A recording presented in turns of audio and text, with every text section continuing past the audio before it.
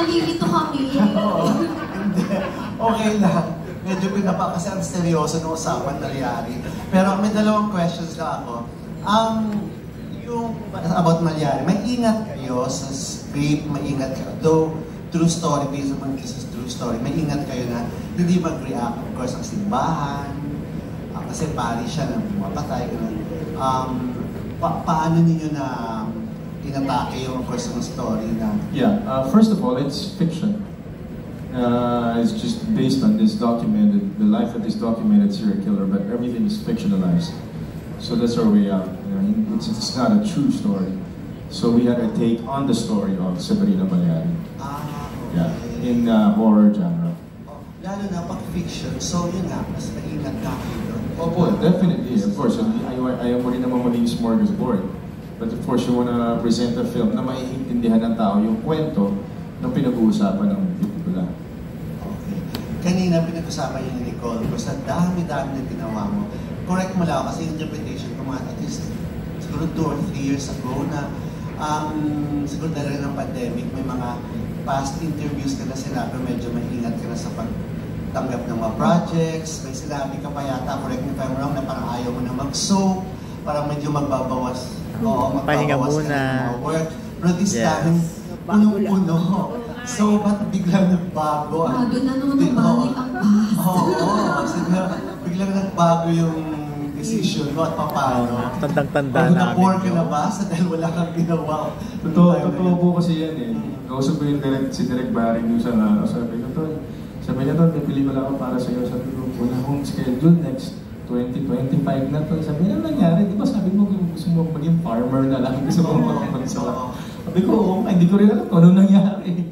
Kasi ah, nagsunod-sunod, and parang it's hard to pass up on these projects na alam mo mga monumental, alam mo na pag hindi mo ginawa, may pa naman gagawa, obviously. Pero ito malyari, sinabi ni Derek, kung di ko tinanggap, sabi niya, sayang, masya-shelve yung project. It's hard to find an actor, apparently, to do something as complicated as this.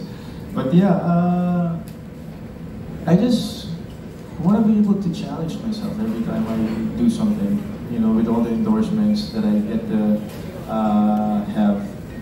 Parang it's it's a one way it's one way of giving back to stay relevant and also still be in the game.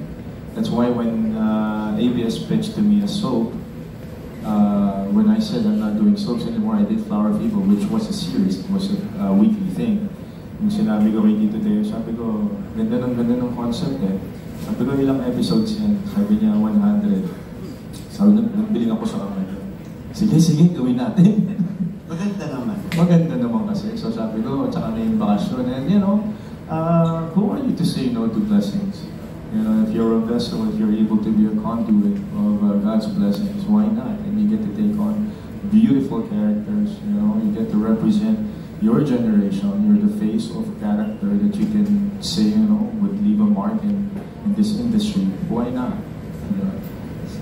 paano na yung mga personal mo, of course? no? Ah, dyan lang sila. Ganun Dyan talaga po eh. May mga bagay na hindi para sa atin.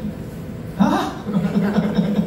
Or willing to wait for sure. dar- darating, darating tayo dyan. Uh, for now, really, I'm uh, at, at 46, I'm turning 47 in a couple of months, in a couple of weeks.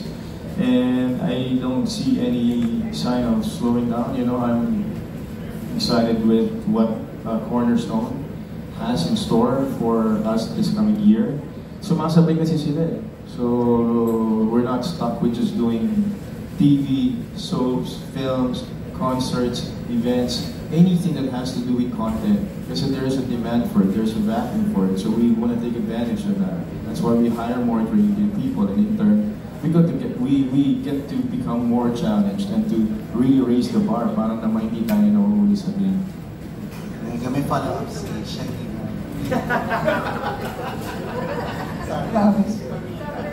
Ay, Papa P. Papa P, ang ang dami ng ginawa ko check on ang portray ng character.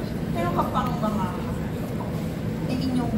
ina-aspire or gusto nyo This, this is really intriguing actually. If there's one person I want to do a biopic on, it's just one person. All my life I wanted to do the story of Marcos. Ah, okay. Marcos. Because I grew up not in martial law, I was born in 77, but I was already alive nung sa EDSA revolution, you know, narinig yung laboratory and my mom was working for the government for almost 20 years. So I grew up during Marcos time. So yun lang. Nagawa ko yung Illinois and. It really, I find that person interesting. So, may possibility, Yeah, siguro at 50, you know, in 3 years, uh, pag medyo may edad na ako. Kasi ba, 30 pa lang kasi ako ngayon. Of course, Papa P. I think so. Sabi, this is I want to be able to do more films uh, as, a, as a producer.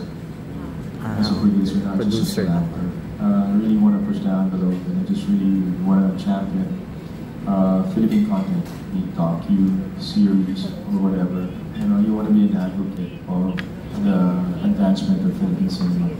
And as a personal, uh, siguro desire is to, uh, yeah, the real estate kasi ako eh. So, we put up some hotels here and there. So, you know, I have like friends, you know, that are helping me to do hotel business. So, yun, on the side. Thank you.